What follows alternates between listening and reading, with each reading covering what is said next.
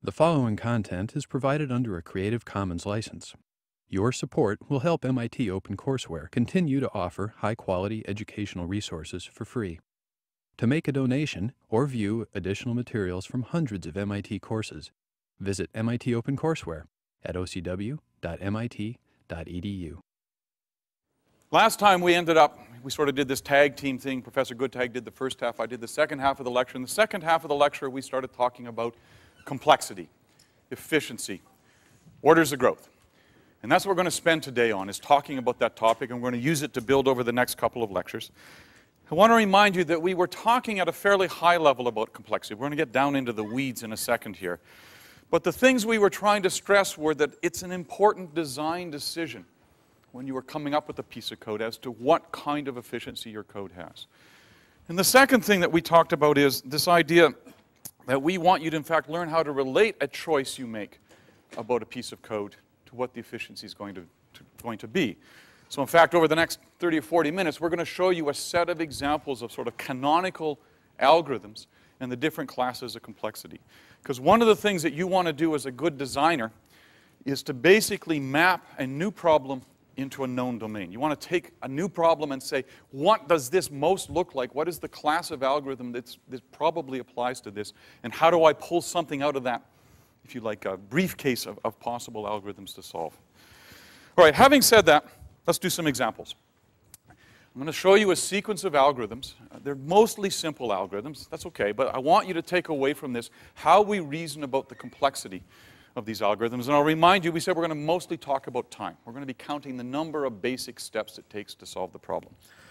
So here's the first example I want to do. I'm going to write a function to compute integer power exponents, a to the b, where b is an integer. And I'm going to do it only using multiplication and addition and some simple tests, right? And yeah, I know it comes built in, that's okay. What we want to do is use it as an example to look at it. So I'm going to build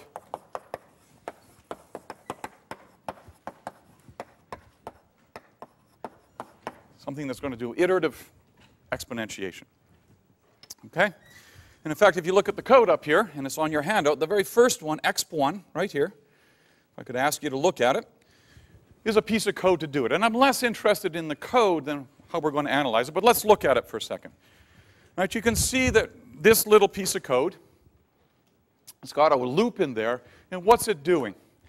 It's basically cycling through the loop, multiplying by a each time. So first time through the loop, the answer is 1. Second time, sorry, as it enters the loop, by the time it enter, exits, its answer is a. Next time through the loop, it goes to a squared. Next time through the loop, it goes to a cubed. And it's just gathering together the multiplications while counting down the exponent. And you can see when we get down to the end test here, we're going to pop out of there, and we're going to return the answer. I could run it. It'll do the right thing. What I want to think about, though, is uh, how much time does this take? How many steps does it take for this function to run? Well, you can kind of look at it, right? The key part of that is that while loop. And what are the steps I want to count there? Inside that loop, I got the wrong glasses on, so I'm going to have to squint. We've got one test, which is a comparison.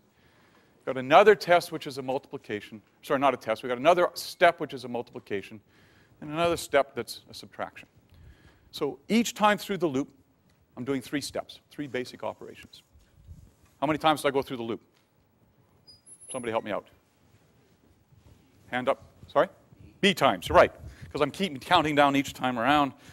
Mostly I got to unload this candy, which is driving me nuts. So thank you. B times. So I'm going to go three B steps right? I got to go through the loop B times. I got three steps each time. And then when I pop out of the loop, I got two more steps, all right? I got a, the, the, the, initiation of, of answer and the return of it. So I take two plus 3B steps to go through this loop.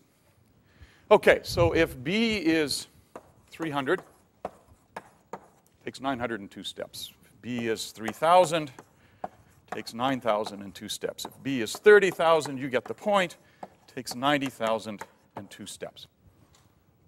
Okay, so the point here is, first of all, I can count these things. But the second thing you can see is as the size of the problems get larger, that additive constant, that 2, really doesn't matter. Right? The difference between 90,000 steps and 90,002 steps, who cares about the 2, right?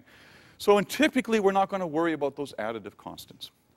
The second one is this multiplicative constant here, this 3, in some sense also isn't all that crucial. You know, does it really matter to you whether your code is going to take 300 years or 900 years to run? Problem is, how big is that number? So we're going to typically also not worry about the multiplicative constants, this, this uh, factor here. What we really want to worry about is as the size of the problem gets larger, how does this thing grow? How does the cost go up? And so what we're going to primarily talk about as a consequence is the rate of growth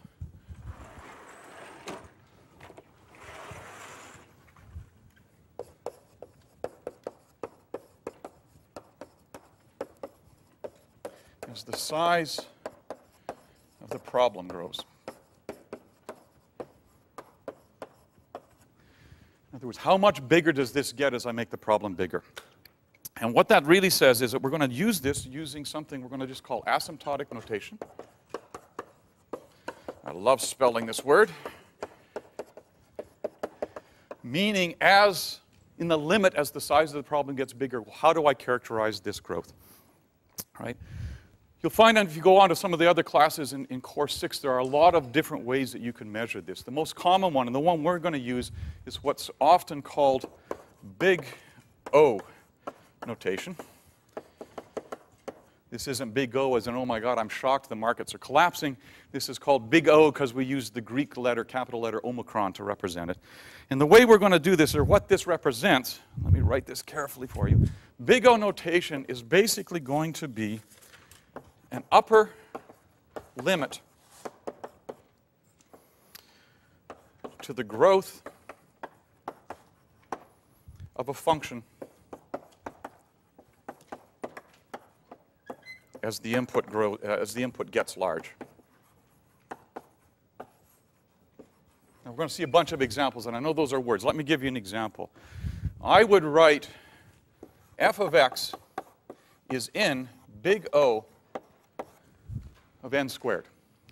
And what does this say? It says that function f of x is bounded above, there's an upper limit on it, that this grows no faster than quadratic in n, n squared. Okay? Now, first of all, you're saying, wait a minute, x and n. Well, one of the things we're going to see is x is the input to this particular problem. n is a measure of the size of x. And we're going to talk about how we come up with that. n measures the size of x. Okay? In this example, I'd use b. Right, as b, b is the thing that's changing as I go along here, but it could be things like how many elements are there in a list if the input is a list. It could be how many digits are there in a string if the input's a string. It could be the size of the integers we go along. Right? And what we want to do then is we want to basically come up with how do we characterize the growth, God bless you, of this problem in terms of this quadratic, sorry, in terms of this exponential growth. Now, one last piece of math. I could cheat. I said I just want an upper bound. I could get a really big upper bound. This thing grows exponentially. That doesn't help me much. Usually what I want to talk about is what's the smallest size class in which this function grows. With all of that, what that says is that this we would write as order B. Right? That algorithm is linear. You can see it right? I said the product was is 2 plus 3b. As I make b really large, how does this thing grow? It grows as b.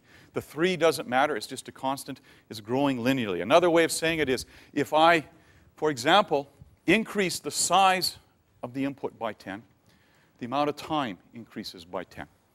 And that's a sign that it's linear. Okay, so there's one quick example. Let's look at another example. If you look at x2, this one right here in your handout. Okay, this is another way of doing exponentiation, but this one's a recursive function, right? So again, let's look at it. What does it say to do? Well, it's basically saying a similar thing. It says if I am in the base case, if b is equal to 1, the answer is just a. I could have used if b is equal to 0, the answer is 1. That would have also worked. Otherwise, what do I say? I say, ah, in a nice recursive way, a to the b is the same as a times a to the b minus 1. And I've just reduced that problem to a simpler version of the same problem. Okay, and you can see that this thing ought to unwrap. It's going to keep extending out those multiplications until it gets down to the base case. I'm going to collapse them all together. Okay, now I want to know what's the order of growth here?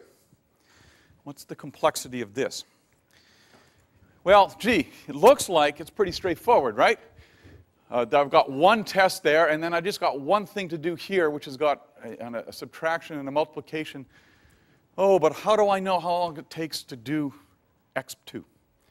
Right? We were counting basic steps. We don't know how long it takes to do x2. So I'm going to show you a little trick for figuring that out.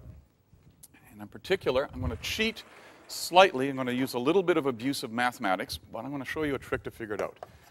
In the case of a recursive exponentiator, I'm going to do the following trick. I'm going to let t of b be the number of steps it takes to solve the problem of size b. Okay, and I can figure this out.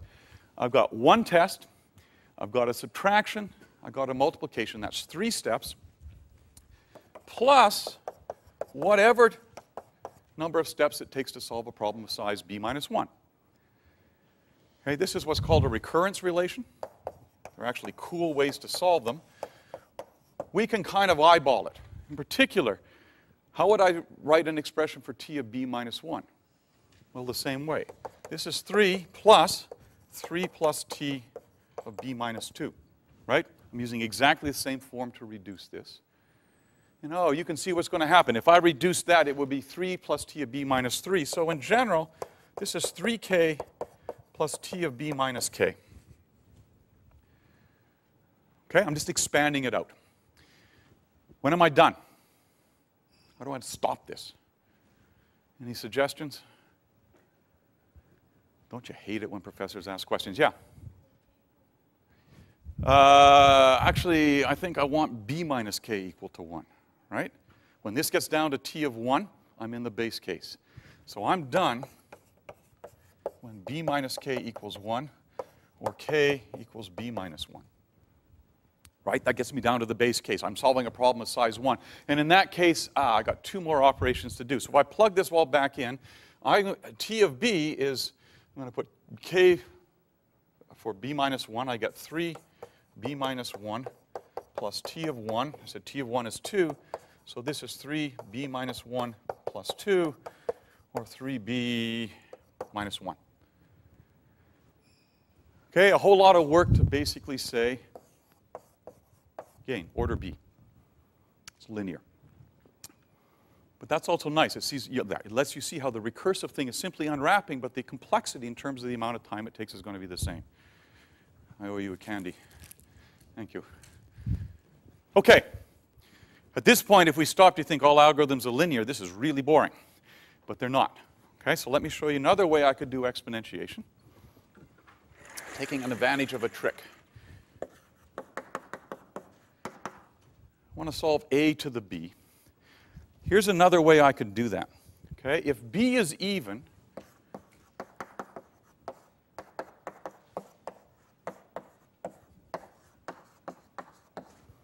then a to the b is the same as a squared all to the b over 2. Right? Just move the, the, the 2's around. It's the same thing. You say, okay, so what? Well, gee, notice. This is a primitive operation. That's a primitive operation. But in one step, I reduced this problem in half. I didn't just make it one smaller, I made it a half smaller. That's a nice deal. Okay, but I'm always going to have b is even. If b is odd, what do I do? Well, go back to what I did before.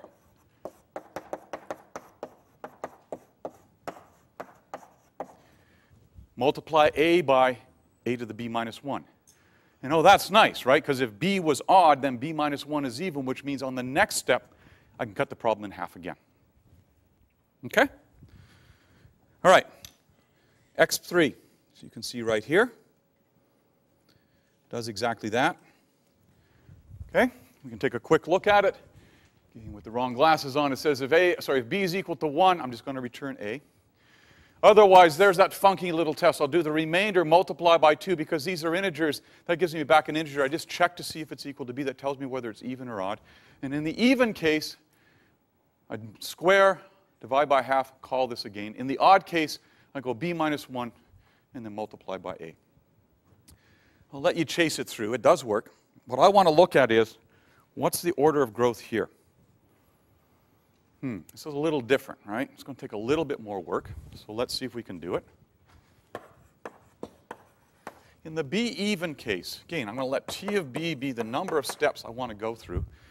And we can kind of eyeball this thing, right? If b is even, I got to test to see if b is equal to 1. And then I got to do the remainder, the multiplication, and the test. I'm up to 4. And then in the even case, I got to do a square and a divide. So I got six steps. Plus whatever it takes to solve the problem of size b over 2.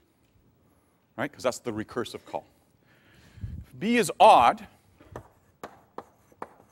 well, I can go through the same kind of thing. I've got the same first four steps. I've got to check to see it's 1. I've got to check to see if it's even. And then in the odd case, I've got to subtract 1 from b. That's a fifth step. I've got to go off and solve the recursive problem, and then I'm going to do one more multiplication. So it's 6 plus, in this case, t of b minus 1, because it's now solving a one smaller problem. On the next step, though, this will get substituted by that. Right, on the next step, I'm back in the even case, is going to take six more steps plus t of b minus 1, oops, sorry about that, over 2. Because b minus 1 is now even. Don't sweat the details here. I just want to see if the reasoning goes through it. What I now have, though, is a nice thing. It says in either case, in general, t of b, and this is where I, am going to abuse notation a little bit, but I can basically bound it by t 12 steps plus t of b over 2. Okay, the abuse is, you know, it's not quite right. It depends whether it's already, but you can see in either case, after 12 steps, 2 runs through this, I'm down to problem size b over 2. Why is that nice? Well, that then says after another 12 steps, I'm down to problem size t of b over 4. And if I pull it out one more level, 12 plus 12 plus t of b over 8, which in general is going to be, after k steps, 12k, because I'll have 12 of those to add up, plus t of b over 2 to the k. When am I done? When do I get down to the base case? Somebody help me out. What am I looking for? Yeah, you're jumping slightly ahead of me, but basically I'm done when this is equal to 1, right? Because I get down to the base case. So I'm done when b over 2 to the k is equal to 1, and you're absolutely right. That's when k is log base 2 of b. You're sitting a long ways back. I have no idea if I make it this far or not. Thank you. Okay? There's some constants in there, but this is order log b. Logarithmic. This matters. This matters a lot. I'm going to show you an example in a second just to drive this home. But notice the characteristics. In the first two cases, the problem reduced by one at each step, whether it was recursive or iterative. That's a sign that it's probably linear. This case, I reduced the size of the problem in half. It's a good sign that this is logarithmic, and I'm going to come back in a second to why logs are a great thing. Let me show you one more class, though, of ah, sorry, let me show you two more classes of algorithms. Let's look at the next one, G, and there's a bug in your handout. It should be G of N and M. I apologize for that. I changed it partway through, didn't catch it. Okay, order of growth here. Anybody want to volunteer a guess? Other than the TAs who know? Okay, let's think it through. I've got two loops. Right? We already saw with one of the loops, you know, it looked like it might be linear depending on what's inside of it. But let's think about this. I got two loops with G. What's G do? I got an initialization of X, and then I say for I in the range, so that's basically from 0 up to n minus 1. What do I do? Well, inside of there, I got another loop for J in the range from 0 up to m minus 1. What's the complexity of that inner loop? Sorry? Okay, you're doing the whole thing for me. What's the complexity just of this inner loop here, just this piece? How many times do I go through that loop? M? Right? I'm going to get back to your answer in a second because you're headed in the right direction. The inner loop, this part here, I do M times. It's one step inside of there, right? How many times do I go through that loop? Ah, n times because I, for each value of i, I'm going to do that m things. So that is close to what you said, right? The order complexity here, if I actually write it, would be, um, sorry, order n times m. And if m was equal to n, that would be order n squared, and this is quadratic. And that's a different behavior. Okay, what am I doing? Building up examples of algorithms. Again, I want you to start seeing how to map the characteristics of the code, the characteristics of the algorithm, let's not call it the code, to the complexity. I'm going to come back in a second to that, but I need to do one more example, and I got to use my high-tech, really expensive props, right? So here's the fourth or fifth, whatever we're up to, I guess fifth example. This is an example of a problem called Towers of Hanoi. Anybody heard about this problem? A few tentative hands. Okay. Here's the story as I'm told it. There's a temple in the middle of Hanoi. In that temple, there are three very large diamond encrusted posts. And on those posts are 64 discs, all of a different size. And they're you know, covered with jewels and all sorts of other really neat stuff. There are a set of priests in that temple, and their task is to move the entire stack of 64 discs from one post to a second post. When they do this, you know, the universe ends or they solve the financial crisis in Washington or something like that, actually good happens, right? Boy, none of you have 401ks. You're not even wincing at that thing. All right. The rules, though, are they can only move one disk at a time, and they can never cover up a smaller disk with a larger disk. Okay, otherwise you just move the whole darn stack, okay? So we want to solve that problem for them. We want to write a piece of code that helps these guys out. So I'm going to show you an example. Let's see if we can figure out how to do this. So we'll start with the easy one. Moving a disk of size 1. Okay, that's not so bad. Moving a stack of size 2. If I want to go there, I need to put this one temporarily over here so I can move the bottom one before I move it over. Moving a stack of size 3. Again, if I want to go over there, I need to make sure I can put the spare one over here before I move the bottom one. I can't cover up any of the smaller ones with the larger one, but I can get it there. Stack of size 4. Again, I'm going there, so I'm going to do this initially. No, I'm not. I'm going to start again. I'm going to go there initially so I can move this over here so I can get the base part of that over there. I want to put that one there before I put this over here. Finally, I get to the point where I can move the bottom one over. Now i got to be really careful to make sure that I don't cover up the bottom one in the wrong way before I get to the stage where I wish they were posted. And there you go. All right? I mean, I can make money in Harvard Square doing this stuff, right? All right, you ready to do five? Got the solution? Not so easy to see. All right? But this is actually a great, one of those educational moments. This is a great example to think recursively. If I wanted to think about this problem recursively, what do I mean by thinking recursively? How do I reduce this to a smaller size problem of the same instant? And so if I do that, this now becomes really easy. If I want to move this stack here, I'm going to take a stack of size n minus 1, move it to the spare spot. Now I can move the base disk over, and then I'm going to move that stack of size n minus 1 to there. That's literally what I did. Okay? So there's the code called towers. I'm just going to have it let you take a look at it. I'm giving it an argument which is the size of the stack and then just labels for the three posts, a from, a to, and a spare. And in fact, if we look at this, let me just uh, pop it over to the other side. Okay, I can move a tower, I'll say size 2 from to and spare, and that was what I did. And if I want to move towers of, say, size 5 uh, from to and spare, there are the instructions for how to move it. We ain't going to do 64. Okay? All right, so it's fun, and I got a little bit of applause out of it, which is always nice for me. But I also showed you how to think about it recursively. Once you hear that description, it's easy to write the code. In fact, this is a place where the recursive version of it is much easier to think about than the iterative one. But what I really want to talk about is what's the order of growth here? What's the complexity of this algorithm?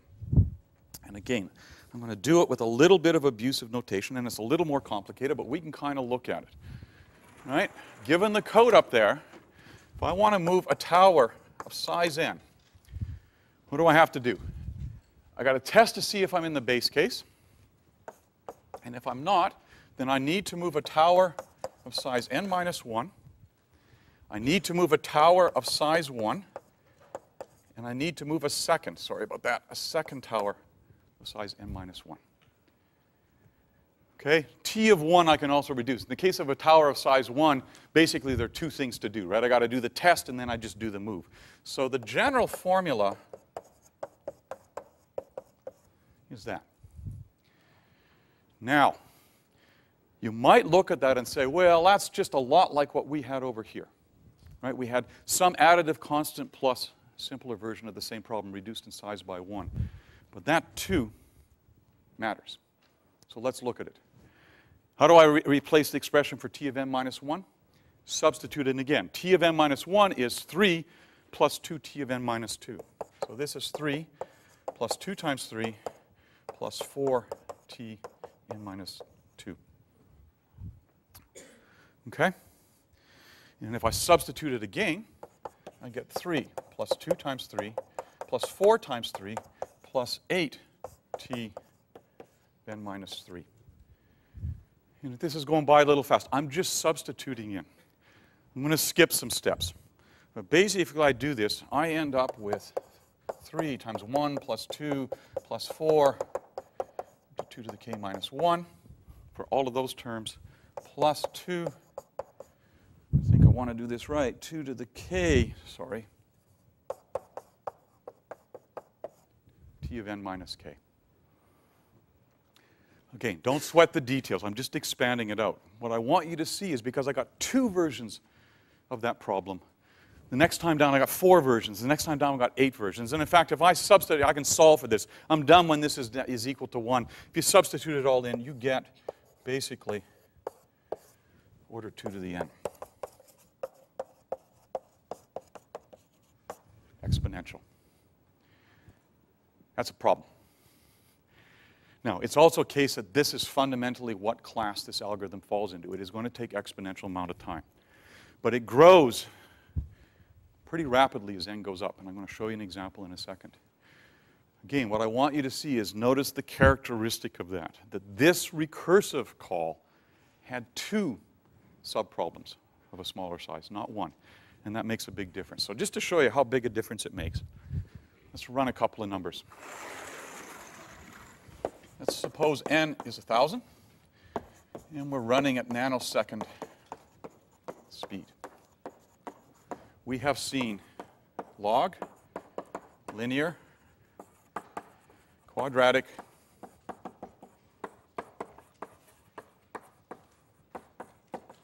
and exponential. So, again, there could be constants in here, but just to give you a sense of this. If I'm running at nanosecond speed, and the size of the problem, whatever it is, is 1,000. And I've got a log algorithm. Takes 10 nanoseconds to complete. You blink, you miss it. If I'm running a linear algorithm, it'll take one microsecond to complete. If I'm running a quadratic algorithm, it'll take one millisecond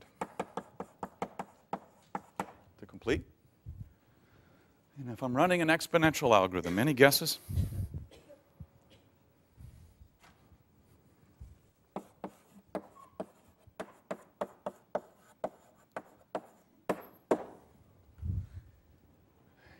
Hope Washington doesn't take this long to fix my 401k plan, all right?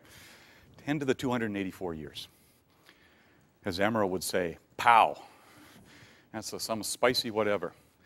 All right, bad jokes aside, what's the point? You see these classes have really different performance. Now, this is a little misleading. These are all really fast. So just to give you another set of examples, I'm not going to do the, uh, if I had a, a problem where the log one took 10 milliseconds, then the linear one would take a second, and the quadratic one would take 16 minutes. So you can see even the quadratic ones can blow up in a hurry. And this goes back to the point I tried to make last time. Yes, the computers are really fast, but the problems can grow much faster than you can get performance boost out of the computer. And you really, wherever possible, want to avoid that exponential algorithm because that's really deadly. Yes? Um, right, the question is, is there a point where it'll quit? Uh, yeah, when the power goes out or... Uh, So let me not answer it quite so facetiously. We'd be mostly talking about time. In fact, if I ran one of these things, it would just keep crunching away. It will probably quit at some point because of space issues, unless I'm writing an algorithm that is using no additional space. Right? Those things are going to stack up and eventually it's going to run out of space, and that's more likely to happen. But you know, the algorithm doesn't know that it's going to take this long to compute. It's just busy crunching away, trying to see if it can make it happen. Okay? Good question. Thank you. All right. I'm going to do one more extended example here because we've got another piece of data, but I want to capture this because it's important. So let me again try and say it the following way. I want you to recognize classes of algorithms and match what you see in the performance of the algorithm to the complexity of that algorithm. Right? Linear algorithms tend to be things where at one pass through, you reduce the problem by a constant amount, by one. If you reduce it by two, it's going to be the same thing. Right? You go from problem of size n to a problem of size n minus 1. A log algorithm typically is one where you cut the size of the problem down by some multiplicative factor. You reduce it in half, reduce it in a third. Right? Quadratic algorithms tend to have this, I was about to say additive, wrong term, but doubly nested, triply nested things are likely to be quadratic or cubic algorithms, right? Because, you know, let me not confuse things. Double loop quadratic algorithm, because you're doing one set of things and you're doing it some other number of times. And that's a typical signal that that's what you have there. Okay? And then the exponentials, as you saw, is when typically I reduce a problem of one size into two or more subproblems of a smaller size. And you can imagine this gets complex and there's lots of interesting things to do to look at the real form, but those are the things that you should see. Now, two other things before we do this last example. One is I'll remind you what we're interested in is asymptotic growth. How does this thing grow as I make the problem size big? And I'll also remind you, and we're going to see this in the next example, we talked about looking at the worst case behavior. In these cases, there's no best case, worst case. It's just doing one computation. We're going to see an example of that in a second. But we really want to worry about what's the worst case that happens. And the third thing I want you to keep in mind is, remember, these are orders of growth.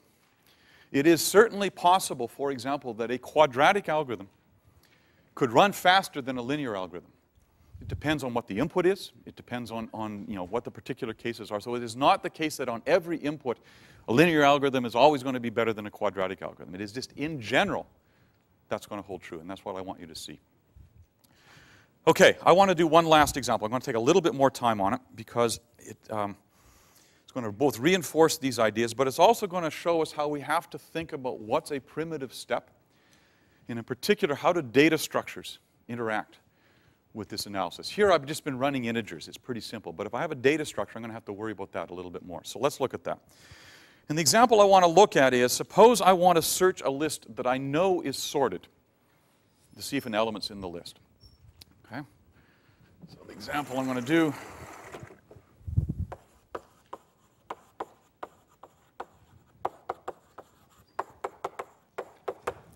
I want to search a sorted list. All right. If you flip to the second side of your, of your handout, you'll see that I have a piece of code there that does this. Let me, uh, I didn't want to do that. Let me back up slightly. This is the algorithm called search. And let's take a look at it. Okay? Basic idea before we even look at the code is pretty simple. If I've got a list that is sorted, in, let's call it just an increasing order, and I haven't said what's in the list. It could be numbers, it could be other things. For now, we're going to just assume they're integers. The easy thing to do would be the following. Start at the front end of the list. Check the first element. If it's the thing I'm looking for, I'm done. It's there. If not, move on to the next element. And keep doing that, but if at any point I get to a place in the list where the thing I'm looking for is smaller than the element in the list, I know everything else in the rest of the list has to be bigger than that. I don't have to bother looking anymore. It says the element's not there. I can just stop. Okay, so that's what this piece of code does here, right? I'm going to set up a variable to say what's the answer I want to return. Is it there or not? Initially, it's got that, that funny value none. I'm going to set up a, an index, which is going to tell me where to look, starting at the first part of the, uh, of the list, right? And then what I'm, to, I'm also going to count how many comparisons I do, just so I can see how much work I do here. And then notice what it does. It says while the index is smaller than the size of the list, I'm not at the end of the list, and I don't have an answer yet, check. So I'm going to check to see, well, actually, I really can't read that thing. Let me do it this way, right? I'm going to increase the number of comparisons, and then I'm going to check to say, is the thing I'm looking for at the ith spot in the list. Right? So S of i is saying, given the list, look at the ith element. Is it the same thing? If it is, okay, set the answer to true, which means next time through the loop, that's going to pop out and return an answer. If it's not, then check to see is it smaller than that element in the current spot of the list. And if that's true, it says again, everything else on the list has to be bigger than this. Thing can't possibly be in the list. I'm taking advantage of the ordering. I can set the answer to false, change I to go to the next one, and next time through the loop, I'm going to pop out and print it out. Okay? All right, order of growth here. What do you think?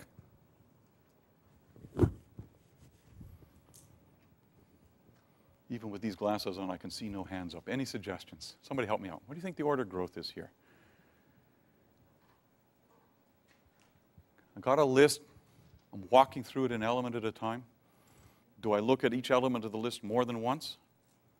Don't think so, right? So what does this suggest? Sorry?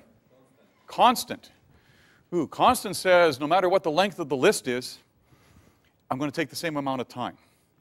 And I don't think that's true, right? If I have a, a list 10 times longer, it's going to take me more time. So, not a bad guess. I will still reward you. Thank you. Somebody else. Yeah. Linear. Why? You're right, by the way, but why?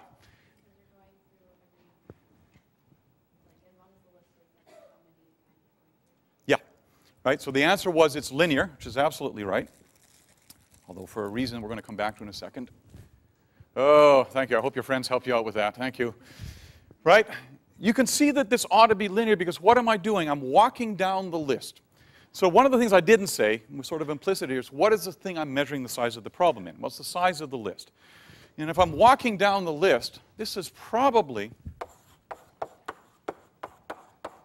order of the length of the list S because I'm looking at each element once. Now you might say, wait a minute, things ordered. If I stop partway through and I throw away half the list, doesn't that help me? And the answer is yes, but it doesn't change the complexity because what did we say? We're measuring the worst case. The worst case here is the thing's not in the list, in which case I got to go all the way through the list to get to the end. Okay? Now, having said that, and I've actually got a subtlety I'm going to come back to in a second, there ought to be a better way to do this. Okay? And here's the better way to think about it. You just draw out sort of a funny representation of a list. Those are sort of the cells, if you like, in memory that are holding the elements of the list. What we've been saying is I start here and look. If it's there, I'm done. If not, I go there. If it's there, I'm done. If not, I keep walking down, and I only stop when I get to a place where the element I'm looking for is smaller than the value in the list, in which case I know the rest of this is too big and I can stop. But I still have to go through the list. It's a better way to think about this. And in fact, Professor Guttag has already hinted at this in the last couple of lectures.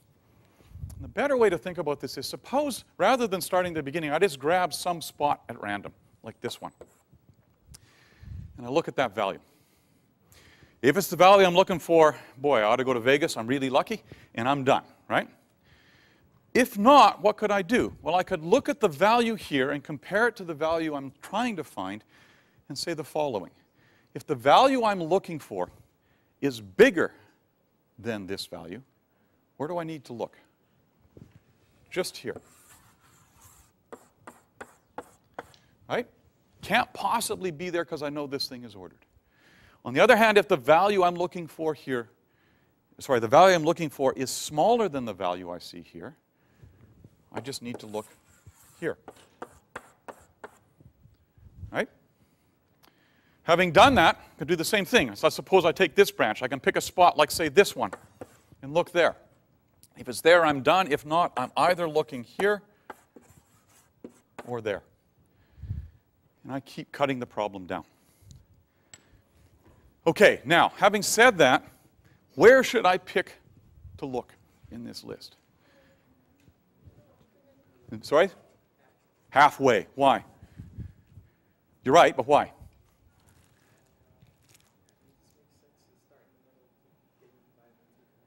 Yeah. So the answer, in case you didn't hear it, was Again, if I'm a gambling person, I could start like a way down here, right? If I'm gambling, I'm saying, gee, if I'm really lucky, it'll be only in this side, and I've got a little bit of work to do. But if I'm unlucky, I'm scrod. The past pluperfect of screwed, okay, or a Boston fish. I got to look at the rest of that big chunk of the list, and that's a pain. So halfway is the right thing to do because at each step, I'm guaranteed to throw away at least half the list, right? And that's nice. Okay, what would you guess the order of growth here is? Yeah. Why? Good, exactly, right? Again, if you didn't hear it, the answer was it's log, because I'm cutting down the problem in half at each time. You're right, but there's something we have to do to add to that, and that's the last thing I want to pick up on, okay? Let's look at the code. Actually, let's test this out first before we do it. So I've added, as Professor Guttag did, ah, should have said it this way. Let's write the code for it first. Sorry about that. Okay, I'm going to write a little thing called B search. I'm going to call it down here with search, which is simply going to call it and then print an answer out.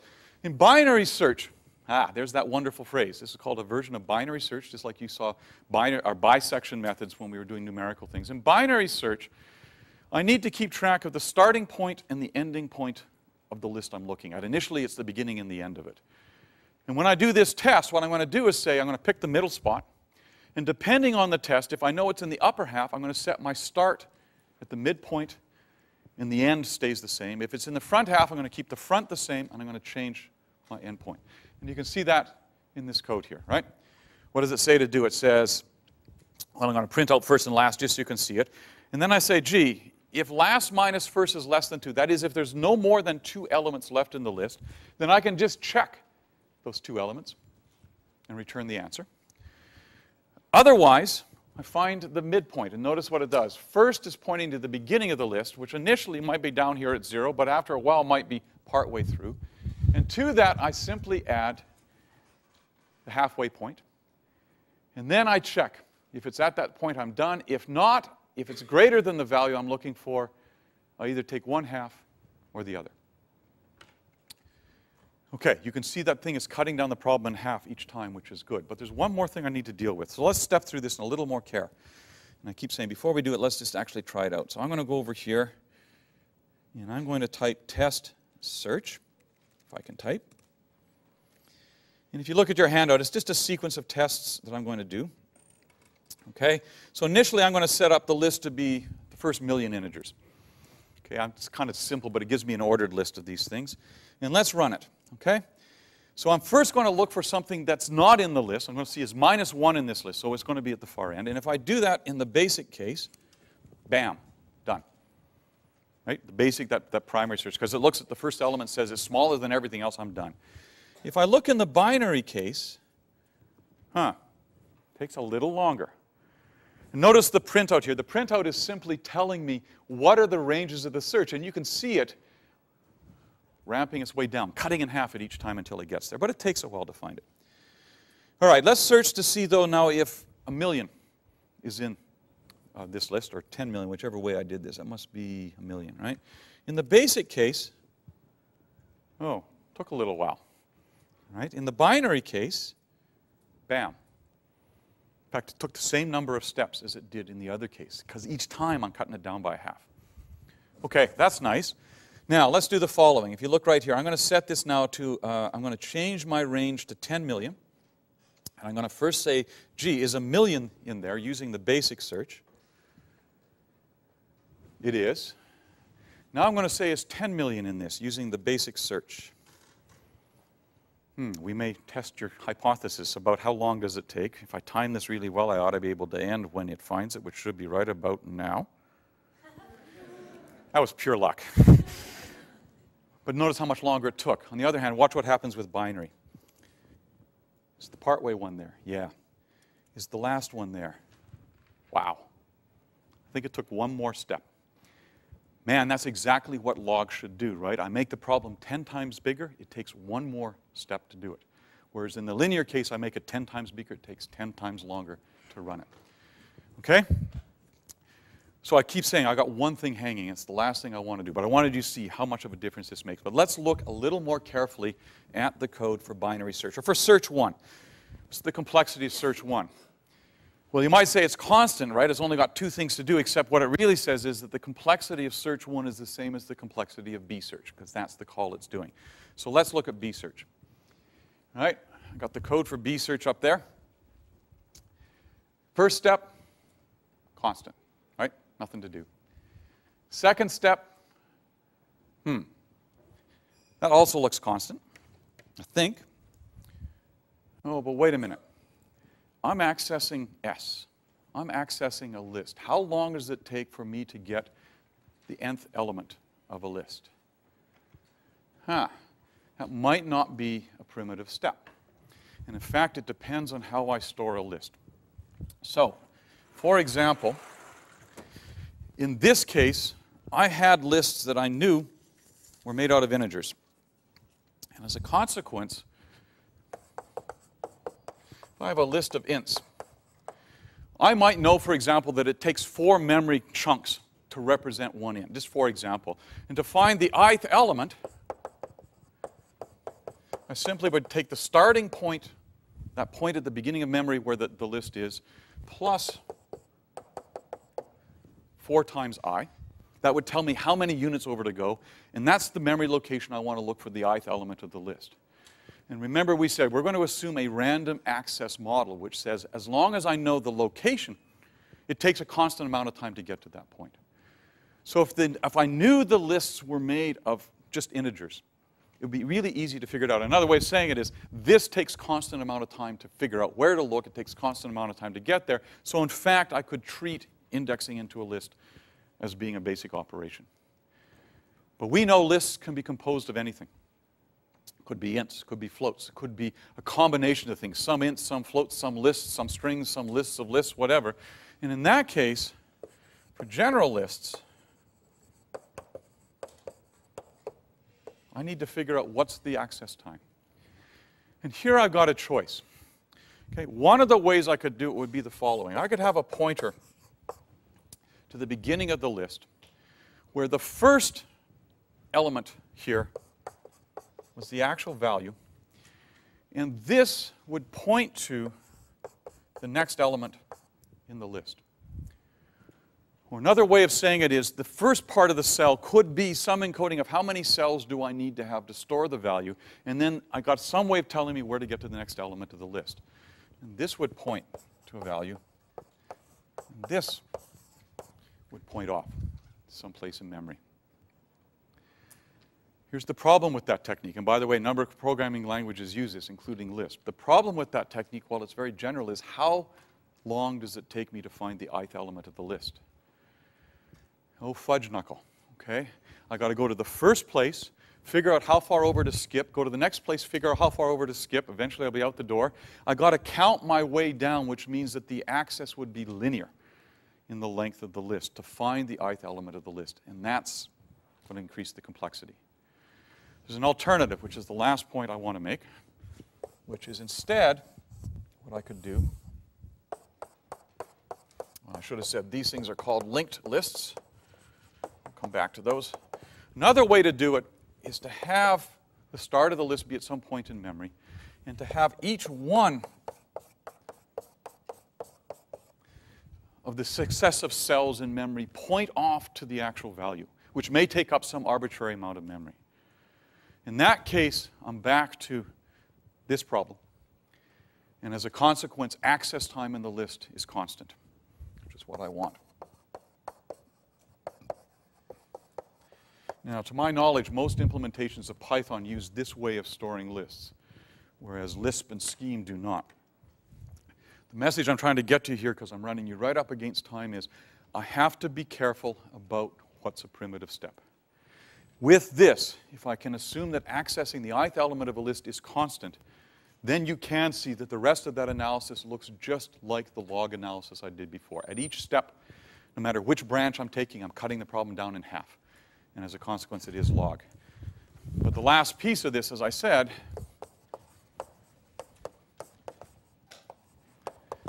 I have to make sure I know what my primitive elements are in terms of operations. Summary. I want you to recognize different classes of algorithms. I'm not going to repeat them, but we've seen log, we've seen linear, we've seen quadratic, we've seen exponential. One of the things you should begin to do is to recognize what identifies those classes of algorithms so you can map your problems into those ranges. And with that, good luck on Thursday.